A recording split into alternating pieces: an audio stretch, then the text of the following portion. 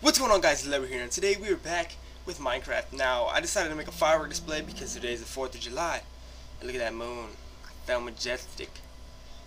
But anyways, here's my firework display. I'm going to set it off first and then I'm going to show you what it looks like in the back.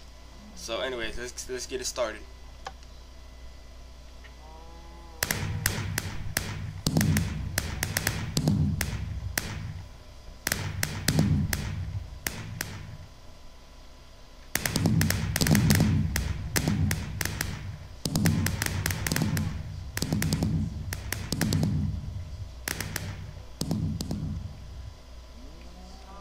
There we go. That was a fire display. It wasn't too big. I didn't. I don't want to make it all out and everything.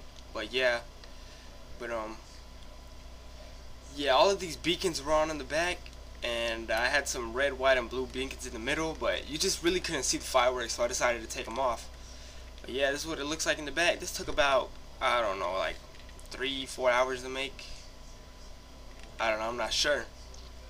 But yeah, um. I hope you're having a hope you have a good 4th of July. Eat some hot dogs and hamburgers. Big shout out to Alvaro9762. And um, if you like, hit that like and subscribe button. And as always, I will see you in the next video. Peace.